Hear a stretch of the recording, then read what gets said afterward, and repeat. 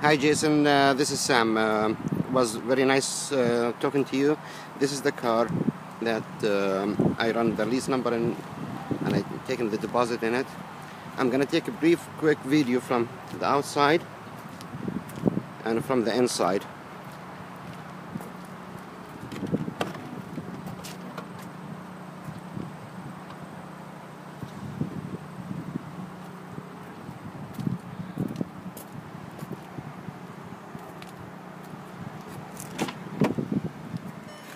As I said to you, it's a keyless go.